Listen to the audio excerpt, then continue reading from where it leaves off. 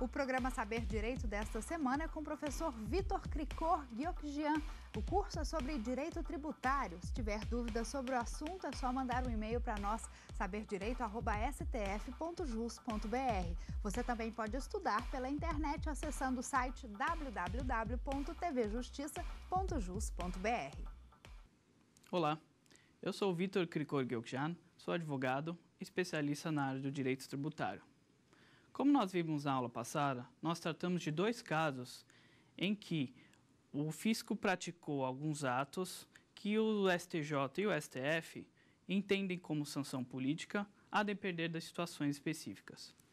Vamos então resumir esses casos da aula passada para que eles deem base teórica para continuarmos a tratar de outras questões nessa aula, nessa segunda aula. Nós vimos os casos da IDF que é a impressão de documentos fiscais para que a empresa continue operando. Vimos o caso do regime especial de apuração e recolhimento do ICMS, que, a depender da situação, pode representar apurações diárias de ICMS com o pagamento respectivo dia, ou mesmo pode representar a denegação da emissão da nota fiscal. Vamos então resumir esses casos e os entendimentos dos tribunais, tanto do STJ como do STF. Verificamos que o STF ele entende pela inconstitucionalidade do regime especial, em que há ofensa ao princípio da liberdade de trabalho e de comércio, bem como a ofensa ao princípio da livre concorrência. Verificamos, no caso, que o STJ ele entende pela legalidade do regime, desde que a, o regime não represente ou não configura obstáculo desarrazoado à atividade empresarial, ou seja, a ponto de coagir o contribuinte ao pagamento de débitos para que ele possa continuar operando. Verificamos então que as posições tanto do STF quanto do STJ não são antagônicas, mas que o STJ, evoluindo um pouco na matéria, estabeleceu alguns critérios para que haja ou não a legalidade do regime especial na apuração de ICMS. Vimos que o STJ ele entende que esse regime especial ele deve ser razoável, ou seja, ele não deve implicar com o fechamento da empresa. E ele deve ser sempre apurado no caso concreto. Tanto a proporcionalidade como a razoabilidade, e há quem distinga esse, essas, esses dois princípios, eles vão sempre ser apurados no caso concreto. Nós vamos tratar daqui a pouco dos conceitos de razoabilidade e de proporcionalidade e verificar a aplicação deles em, determinados casos. Mas é sempre importante mencionar que a razoabilidade sempre deve ser apreciada no caso concreto.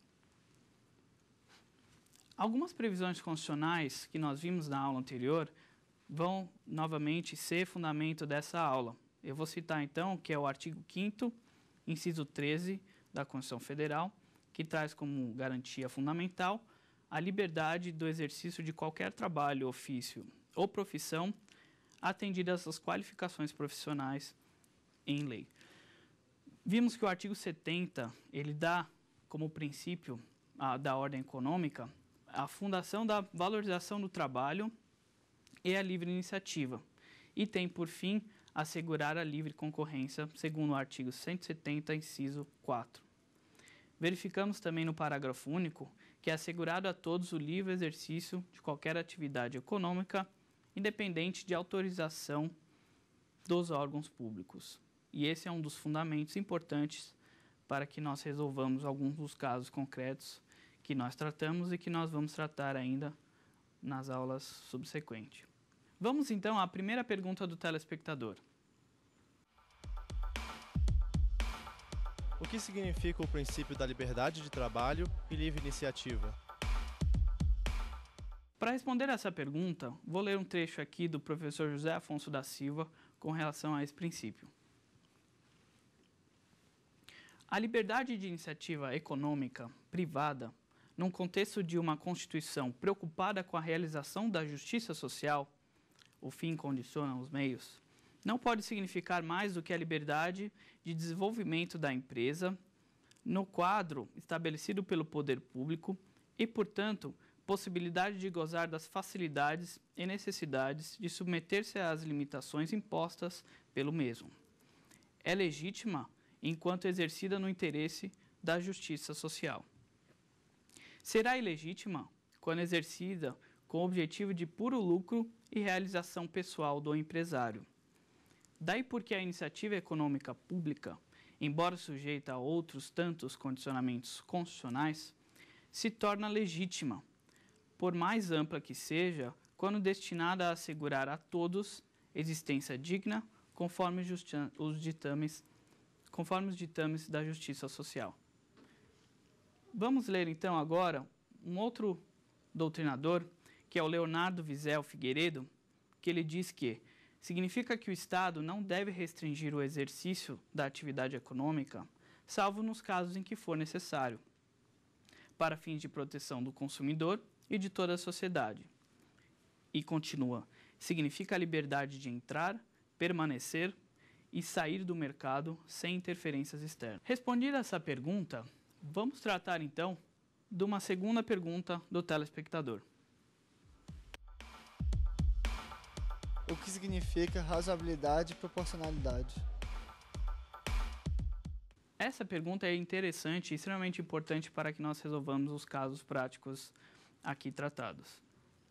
Eu vou começar, então, tratando de alguns doutrinadores que balizam esse, essa resposta. Esse tipo de princípio, que é a razoabilidade e a proporcionalidade, foram fundamentais nos casos utilizados aqui em questão.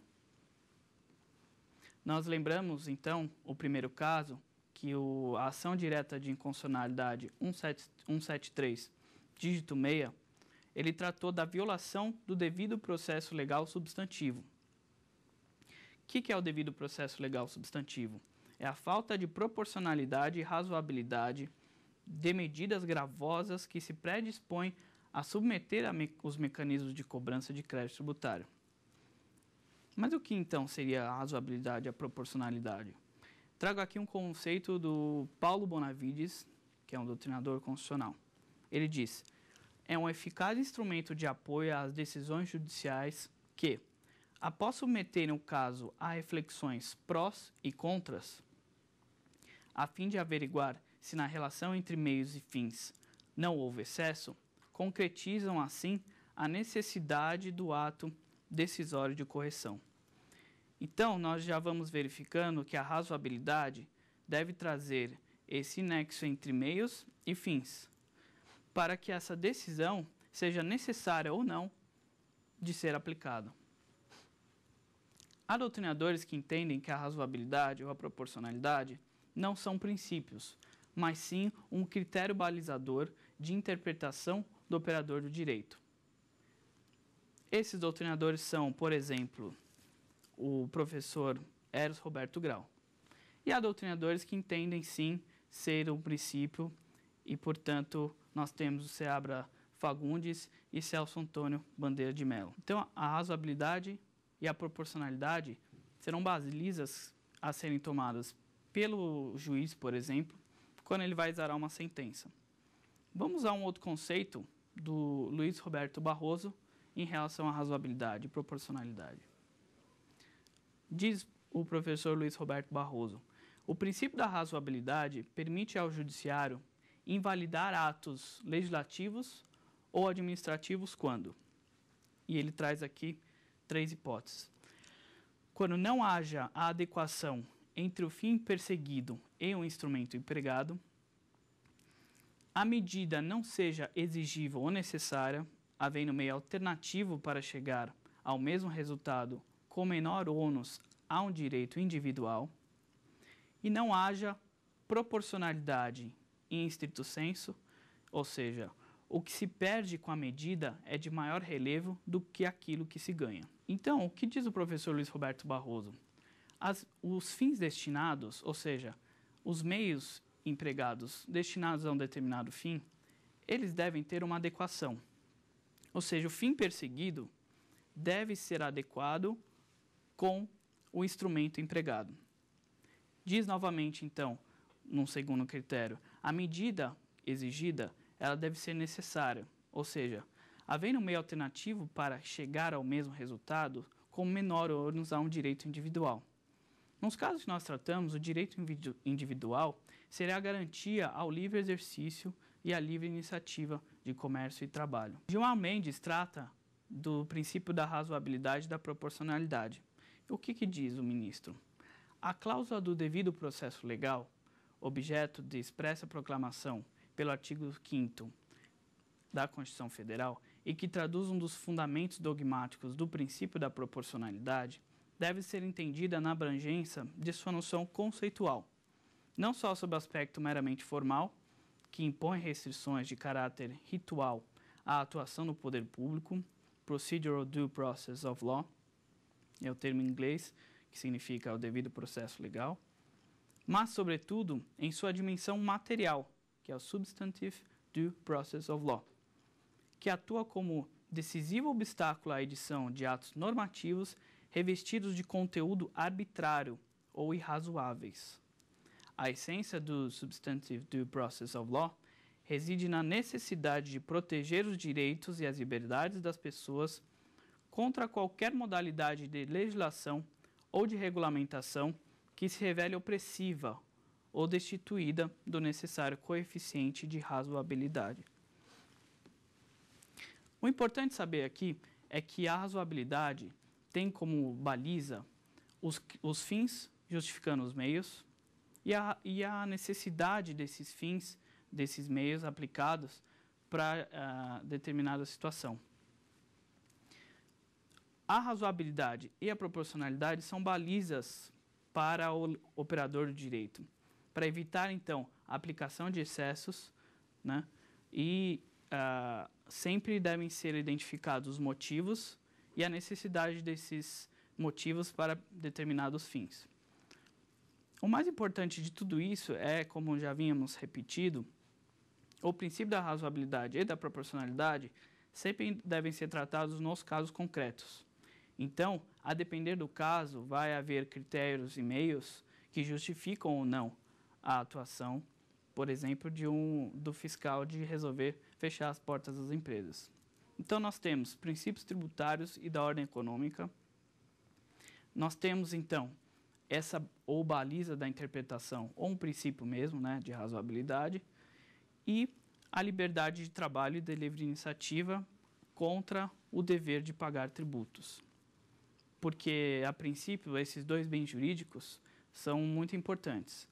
Tanto o dever de pagar tributos, que existe sim esse dever, como a liberdade de trabalho e da livre iniciativa. Como fazer com que esses dois bens jurídicos, como esses dois princípios coexistam? Essa é a grande dificuldade que nós encontramos nesses casos concretos. E que, claro, são sempre avaliados caso a caso. Quero tratar, então, do protesto da certidão de dívida ativa. A certidão de dívida ativa, como nós vimos em aulas passadas, significa a inscrição daquele crédito tributário em dívida ativa para que haja possível cobrança jurídica, cobrança judicial por meio da execução fiscal, em que nós vimos existe um rito próprio que obedece como regra ao princípio da especialidade. A certidão de dívida ativa, ela serve então como um título executivo extrajudicial para cobrança por meio da ação de execução fiscal. Há casos, como nós podemos ver aqui, que é o caso em concreto, em que essa certidão de dívida ativa pode ser protestada. O crédito tributário, ele goza de algumas características, ele goza de algumas presunções, em que a lei de execução fiscal, que é a lei 6.830 de 80, estipula no artigo 3 Vale então a leitura do artigo 3 A dívida ativa regularmente inscrita goza de presunção de certeza e liquidez. Então, essa presunção provém da própria lei quando ela for regularmente inscrita. Irregularmente inscrita pode gerar esse título executivo extrajudicial apto à cobrança, apto a ajuizamento da execução fiscal. Em relação ao protesto, cabe aqui trazer algumas algumas circunstâncias em relação à sua definição e aos seus efeitos, principalmente. A Lei 9.492 de 97, repito, é a Lei 9.492 de 97, ela regulamenta a situação dos protestos dos títulos, né? Títulos de dívida em que o seu artigo 1 vai dizer: o protesto é o ato formal e solene pelo qual se prova a inadimplência e o descumprimento da obrigação originada em títulos e outros documentos de dívida. Essa previsão do artigo do artigo 1 trouxe a ideia de que títulos e documentos de dívida podem ser protestados. Ou seja, para que, que ele serve então? Para garantir a obrigação e constituir o devedor em mora. Quais são os efeitos do protesto? Nós verificamos que todas as empresas, em sua atividade normal, ela necessita muito de atividades bancárias e seus reflexos em geral. Vamos a alguns exemplos de efeitos do protesto. O protesto pode trazer restrições junto às agências bancárias, por exemplo, para retiradas de talão de cheque. Ele pode trazer o cancelamento de conta corrente bancária. Ele pode ainda constranger a pessoa em, em relação a pagamento de cheque. E eu acredito que o mais importante, tendo em vista as empresas, a operação das empresas, né? que é a restrição creditícia na praça para a concessão de financiamentos, leasing, entre outras operações de crédito. Como nós verificamos, os efeitos do protesto podem sim prejudicar a empresa ou o contribuinte, que, necessitando sempre de linhas de crédito, ele pode ter essa linha tolhida por conta de haver um protesto de, de certidão de dívida ativa. Vamos então à pergunta do telespectador. Se o protesto da certidão de dívida ativa prejudica o contribuinte, isso não significa cobrança indireta? Interessante a pergunta. Nós tratamos aqui, nas aulas passadas, que o fisco não pode, então, exercer coação para o meio de cobrança de dívidas tributárias. Nós verificamos, então, que o protesto, entre um dos seus efeitos, ele pode sim prejudicar a empresa, principalmente nas suas relações de linha de crédito, que são as operações de bancos que são muito comuns né, na atividade empresarial. Mas isso não significaria, então, uma cobrança indireta ou não significa uma coação para que a empresa pague seus tributos? Vamos então ler o recurso especial 1126515. Repito, é o recurso especial 1126515, em que temos como relator o ministro Herman Benjamin. Essa decisão foi publicada em 2013, especialmente dia 3 de dezembro de 2013 segue a emenda. Processo civil e administrativo. Protesto de CDA. Lei 9492 de 97.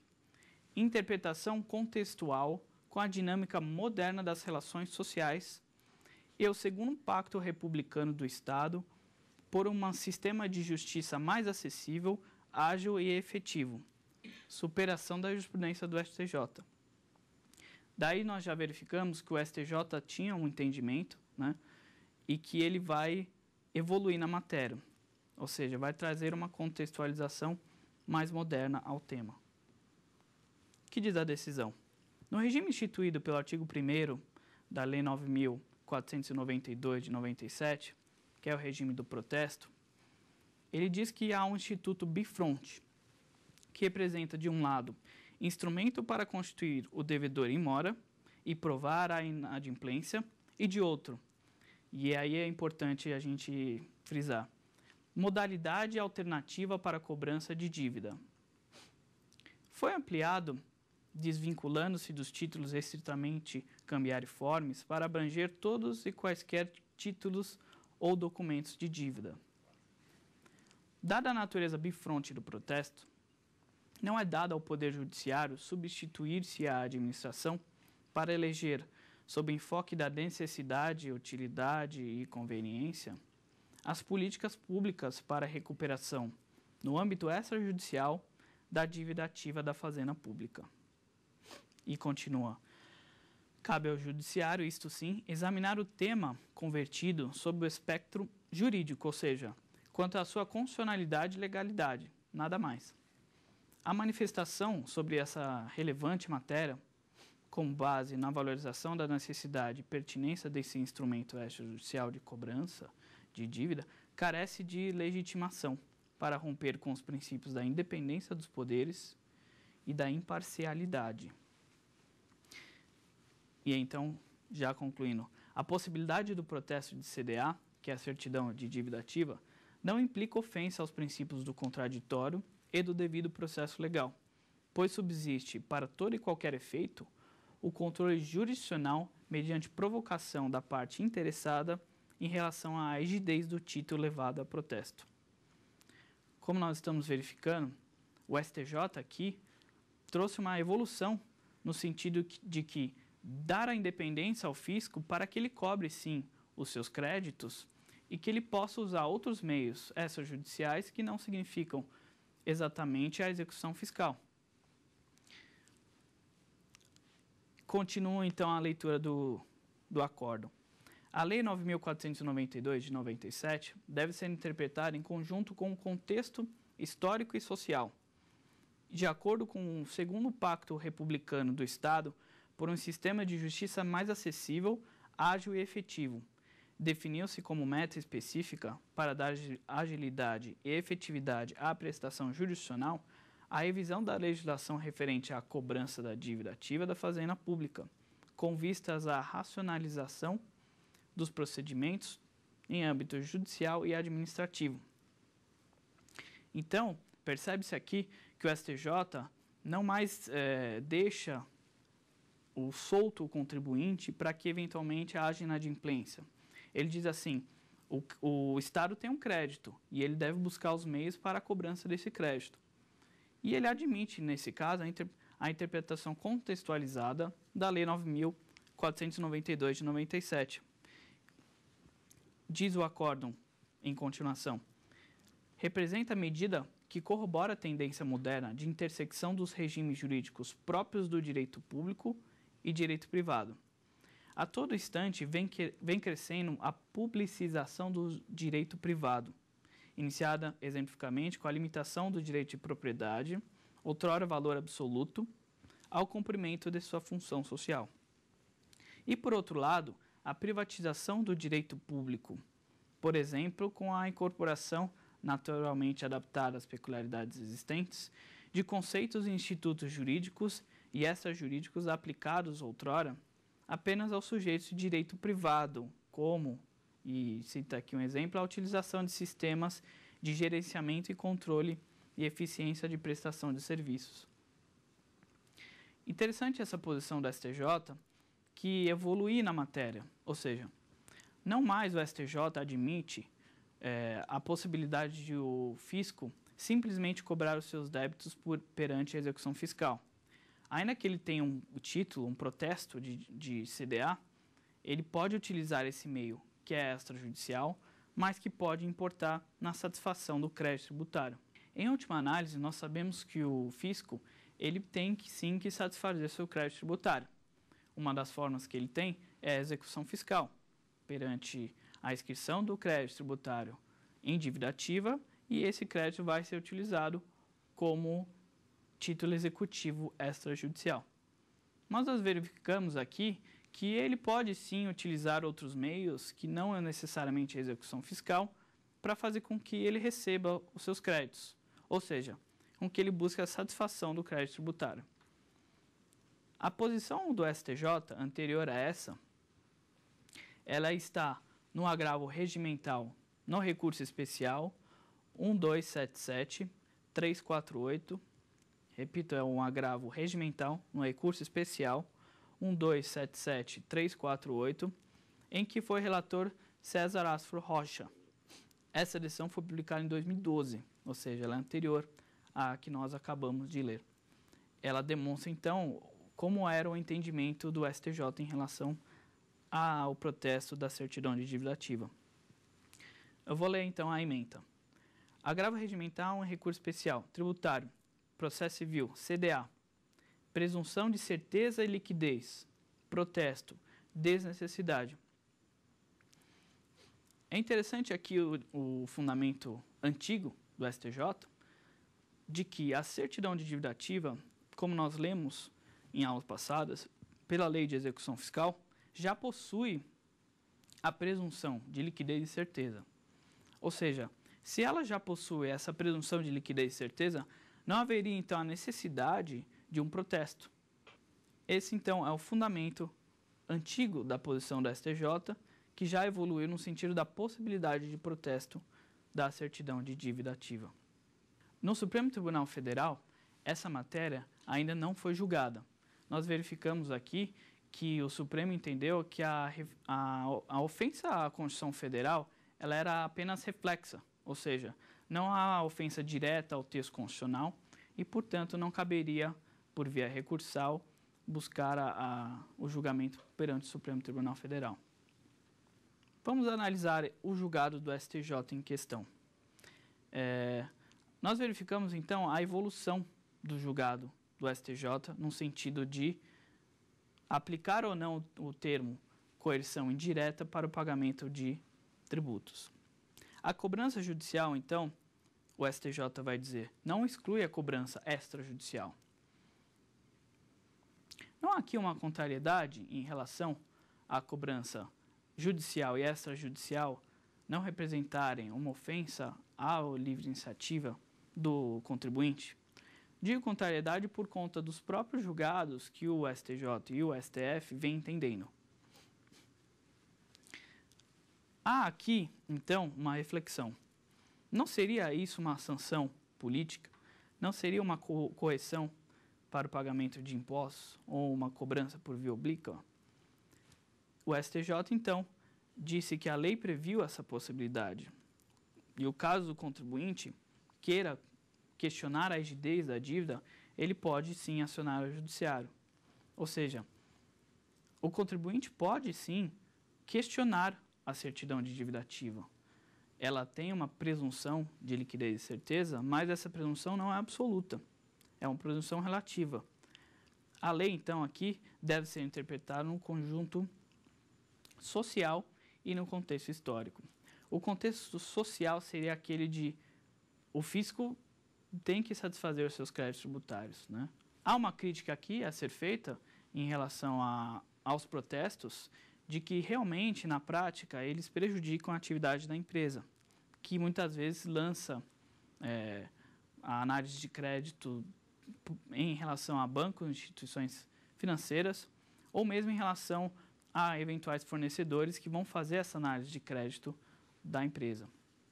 Mas, assim julgou o STJ, num julgado que é, mudou então o entendimento, o paradigma, evoluindo na matéria, decidindo pela legalidade da, do protesto da certidão de dívida ativa nesse contexto social, como nós verificamos. Então vamos fazer aqui o resumo dessas posições que a princípio parecem ser antagônicas. Temos então a cobrança judicial por meio da execução fiscal, que tem o seu rito próprio né, e que obedece à especialidade. A cobrança judicial da execução fiscal será precedida da inscrição de dívida ativa, e essa dívida ativa, então, é um título executivo extrajudicial apto à execução fiscal. Temos a cobrança extrajudicial, que, segundo esse precedente do STJ, parece ser não contraditória com os julgados já é, questionados aqui na, nas aulas. Ou seja, a princípio, o STJ manteve o entendimento de que a coerção para o pagamento de tributo não seria válida. Ou seja, não pode o fisco usar de meios oblíquos né, ou de sanções políticas para satisfazer os seus créditos tributários diz os ministros do STJ e do STF de que o crédito tributário e a inscrição em dívida ativa já tem alguns requisitos e privilégios que a lei de execução fiscal traz. Ou seja, a lei de execução fiscal é um rito próprio para a cobrança e ela já é suficiente para que esse crédito tributário, já presumido em termos de rigidez, liquidez e certeza, seja cobrado. Mas é interessante que sempre o Supremo e o STJ, eles mudam um pouco de entendimento, ou eles evoluem nas matérias. Aqui nós verificamos que tanto no caso do regime especial, como no caso da impressão da autorização para impressão de documentos fiscais, os tribunais entenderam que o fisco não poderia impor tais limites à operação da empresa. O entendimento ali foi de que deve ser preservada a liberdade de trabalho, a livre iniciativa e a concorrência para que a empresa não deixe de trabalhar por conta da existência de dívida e de que o fisco não poderia tolher a atividade da empresa a ponto de fazer com que ela feche suas portas por conta de dívidas tributárias. É importante mencionar que a dívida ou crédito tributário ele não é um crédito sujeito, por exemplo, à falência. A própria lei de falências já trouxe essa previsão de que não pode o fisco querer a falência da empresa por conta de créditos tributários. Daí se verifica o contexto legal de que não pode o fisco, simplesmente pelo, por existirem dívidas tributárias, tolerar a atividade da empresa. A, a posição do STJ aqui, evoluindo então na matéria, parece que dá a ideia de que ah, o protesto da certidão de dívida ativa não tolhe a atividade da empresa. Ou seja, se a empresa precisa da, de bancos ou de análise de crédito, isso não significa parar ou fechar o funcionamento da empresa. Ou seja, a empresa continua operando, ela pode emitir suas notas fiscais, pode vender, pode prestar serviços, ainda que tenha um protesto. A atividade da empresa continua e isso não significa tolher a, a, o funcionamento da, da empresa. Com isso, verificou o fisco que, num contexto social e histórico, não se pode simplesmente deixar a empresa de, com dívidas que ainda, mesmo que essas dívidas não sejam garantidas, ou seja, mesmo que não haja nenhuma das hipóteses do artigo 151 do Código Tributário Nacional, sem que elas sejam satisfeitas. Ou seja, se o fisco sim possui outros meios para a cobrança da dívida, ele pode utilizar. E ele pode utilizar pelo seguinte motivo: esse tipo de atividade não interrompe a empresa, não deixa de operar a empresa que tenha um protesto. Nós sabemos sim que é difícil para uma empresa que sempre é, pratica atos de comércio, eventualmente precisa de bancos, passa por análise de créditos e que isso pode prejudicar, sim, a operação da empresa. Por isso, a, a crítica que nós temos a esses julgados, né, que não foi apreciado pelo Supremo Tribunal Federal por conta de matéria de ofensa reflexa à Constituição mas fica né, a crítica de que no dia a dia, sim, a empresa é prejudicada porque ela não poderia praticar operações de crédito ou mesmo ter a sua análise de crédito por meio de um fornecedor. Vimos então que o STJ, apenas para recapitular, trata do tema do, do direito público e do direito privado. Eu volto aqui porque é um tema interessante importante para é, so, para resolver esse, esse, esse caso. O direito público, a publicização do direito privado. Então, ele diz que a limitação do direito de propriedade era então um valor absoluto. Hoje, a limitação ao direito de propriedade tem como grande fundamento o seu cumprimento da função social. Porque se a empresa paga tributos e paga impostos, ela gira a economia e, além disso, ela participa para que o Estado, com suas funções essenciais, possa prover educação, possa prover saúde e possa prover segurança, né, que são os direitos básicos do cidadão, que é, a Receita Pública é, participa em grande parte disso. Trata aí o julgamento do STJ também da privatização do direito público. Cita como exemplo, então, os conceitos institutos jurídicos e extrajurídicos aplicados outrora às empresas de direito privado, como a utilização de sistemas de gerenciamento e controle na eficiência da prestação de serviços. Então, nós verificamos que tanto o segundo pacto republicano do Estado para um sistema de justiça mais acessível, ágil e efetivo, ou seja, aquele voltado à satisfação das dívidas, como é, a revisão da legislação referente à cobrança de dívida ativa, são fundamentos levados aqui pelo STJ. Ou seja, não quer dizer que por ele ter um protesto ele não possa questionar a dívida que foi protestada. O, o contribuinte ainda ele tem subsídios para questionar a dívida. Um dos subsídios dentro da execução fiscal são os, a ação de embargos de execução fiscal. Os embargos de execução fiscais eles têm alguns requisitos, né? entre eles a penhora, né? que é aquele ato de constrição de garantia do juízo.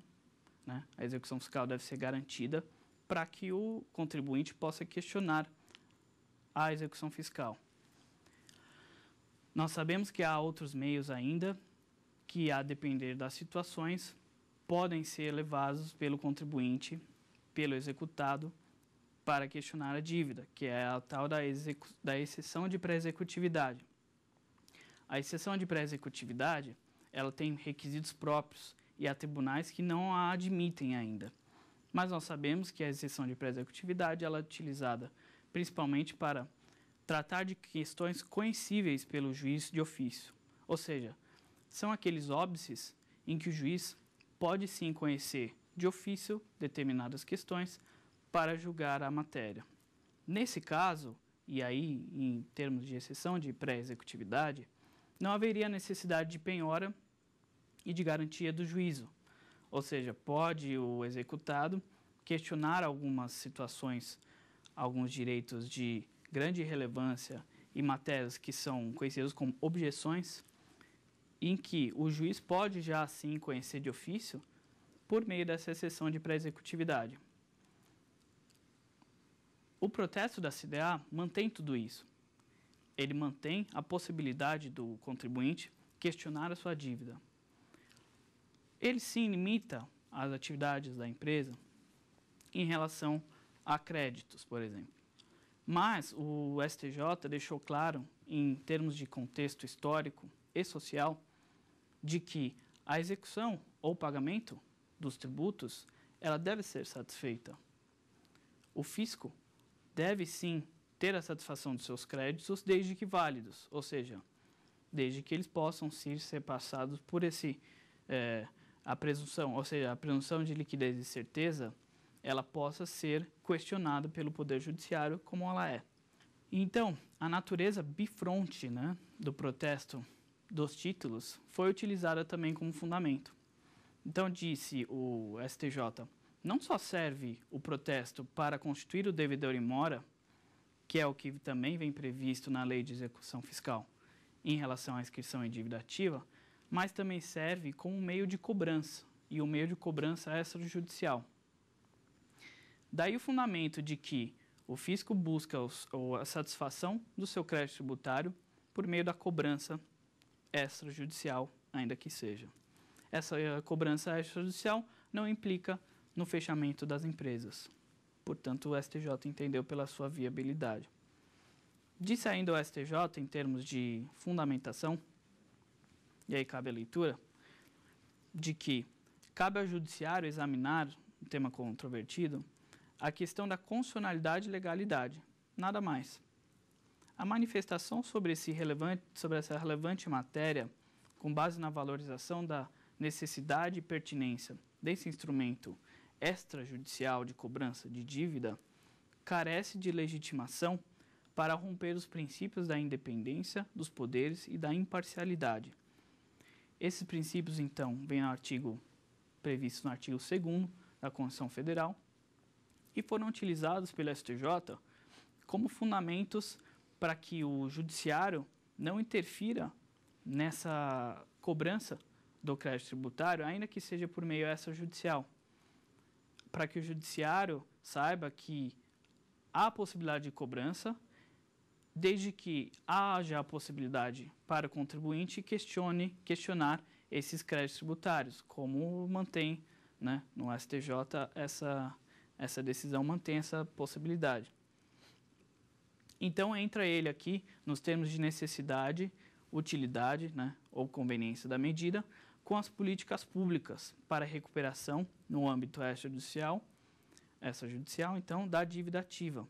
Ou seja, pode sim ser uma política pública a recuperação dos créditos tributários. Nós sabemos que há alguns, algumas empresas têm dívidas realmente significativas. Essas dívidas, claro que prejudicam ainda o fisco, né? O STJ quis dizer aqui, não podemos somente olhar o contribuinte, que deve, e o, S, e o fisco, que tem o seu direito de cobrança, apenas no sentido de que ele vai continuar devendo e o fisco não vai ter a satisfação dos seus créditos. Então, basicamente, o STJ evoluiu nesse sentido. Trouxe aqui a baila o contexto de contexto social, contexto histórico, trouxe esse segundo pacto republicano de Estado para um sistema de justiça mais acessível, ágil e efetivo, né? também balizado com os princípios constitucionais atuais de que a justiça tem que ser efetiva, né? não basta eu ter um crédito tributário em que eu não possa cobrar ou em que eu não possa ver a satisfação desse crédito. E o STF, né, que já tem súmulas tratadas nas aulas anteriores, o STF não enfrentou a matéria por entender que a ofensa à Constituição aqui seria meramente reflexa, ou seja, não haveria uma ofensa direta ao, à Constituição e, portanto, não caberia, por via do recurso extraordinário, né, não haveria hipótese de cabimento para que o STF julgasse a questão.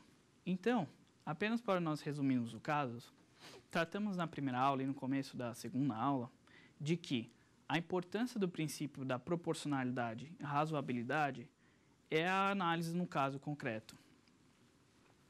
Como nós verificamos, tanto num caso como no outro, o STJ ou STF podem entender que há razoabilidade num protesto de uma CDA e não há razoabilidade em fechar a, a empresa, em fechar as portas da empresa não autorizando a impressão de documentos fiscais, como a nota fiscal.